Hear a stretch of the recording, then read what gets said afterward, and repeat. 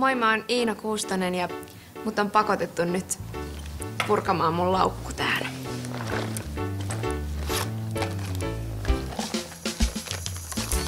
Täältä löytyy karmalista. Aina. Tän lompakon mä oon ostanut Vintage-myyjäisistä kaapelilta joskus vuosia sitten. Ja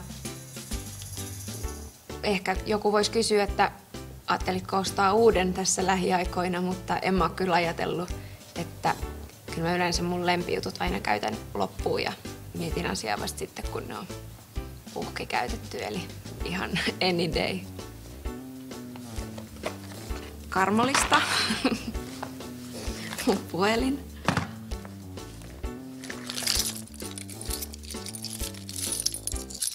Tää on mun avainnippu. Tää on maikkarille tää lätkä. Tää on... Ei mitään hajua. tää on mun kotia vain. Tää on tää kätevä nipsu, millä voi laittaa avaimet kiinni johonkin. Tää on mun pyörän avain. Mahdollisesti toinen pyörän avain.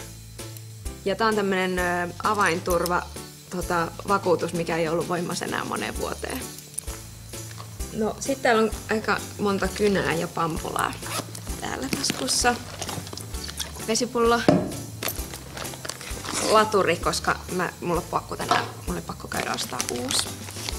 Verokortti, koska mun pitäisi soittaa ja jutella asiasta. Mun luurit, joita mä käytän työvälineenä joka päivä.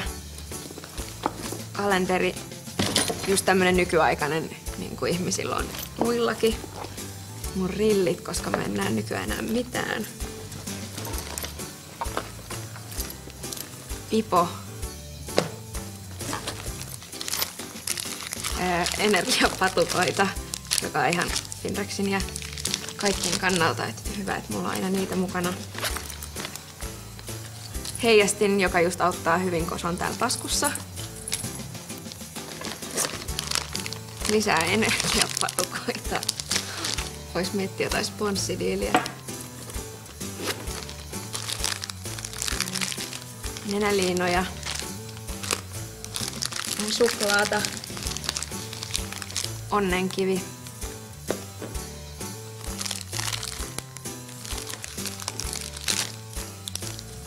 Käsides.